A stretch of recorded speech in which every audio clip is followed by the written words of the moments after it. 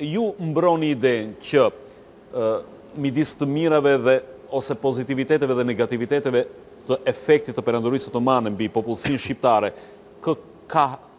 kë kaje mbroni në një farë mënyre të negativiteteve apo pozitiviteteve, ë? Thuhet rëndom nga miti i Perandorisë që ja na lanë në errësirë gjysmë shekullore, pesëqind vjet. Gjendja e shqiptarëve kur kanë ardhur Osmanët në Ballkan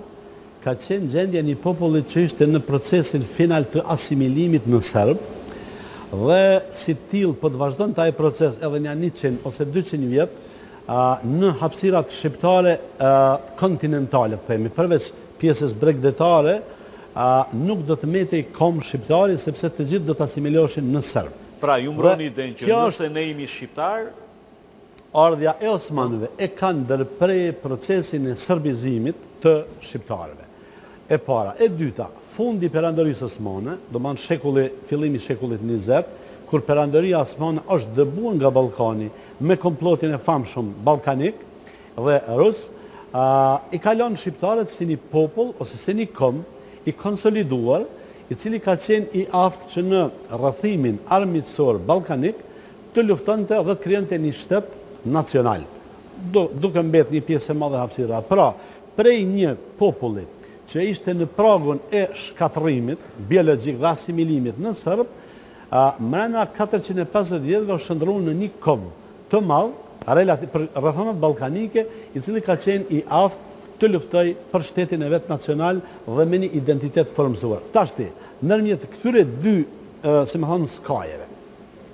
Janë katërqind e pesëdhjetë vjet jetë mbrenda Perandorisë Osmane, në të cilën ka pas periudha të prosperitetit, periudha të lulëzimit, ka pas periudha të krizave, ekonomike, financiare, sociale, ka pas periudha të konflikteve, për arsye sociale, siç ka qenë për shembull periudha e reformave të Tanzimatit, sepse shqiptarët, simas historianes turke Nuray Bozbora, në periudhën e Tanzimatit u rreshtuan në pjesën konservative të popullsisë, sepse nuk dëshironin të kishte reforma që i preknin disa prej interesave që ata i kishin fituar përmes decentralizimit. Dhe normalisht në periudhën e Lidhjes Prizrenit pastaj Dhe veçmas në luftën finale për pavarësi, ka pas edhe konflikte, madje edhe të armatosura, ndërmjet shqiptarëve dhe pushtetit xhonturk, për hir të vërtetës. Realisht, kur ka lind konflikti shqiptar-osman, ka lind në kohën kur Perandoria Osmane, prej një hilafeti islam, është shëndrru në modelin e shtetit komb, simas modelit të shtetit nacional francez dhe shteteve evropiane, Dhe në këtë, si me thonë, shpërndrrim, Perandoria Osmane ka bërë një gabim që ka qenë, po të thonë nga pikëpamja e historiografisë islame,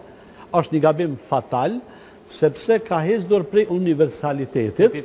dhe ka shëndrru idenë e një nacionalizmi osman. Dhe aty fillojnë problemet. Aty fillojnë problemet. Pra, nuk kanë fillu si probleme fetare, por kanë fillu saktësisht si probleme kur dy nacionalizmat, Nacionalizmi osman dhe ma vonë ai xhonturk dhe nacionalizmi shqiptar janë përplas. Prandaj nuk mund të flitet për armiqësi ndërmjet shqiptarëve dhe osmanëve ose turqve dhe osmanëve, por për një konflikt të nacionalizmave shqiptarë që po luftonin për objektiva të ndryshme në kontekstet e ndryshueme gjeopolitike. Por, por në momentin aktual ku është.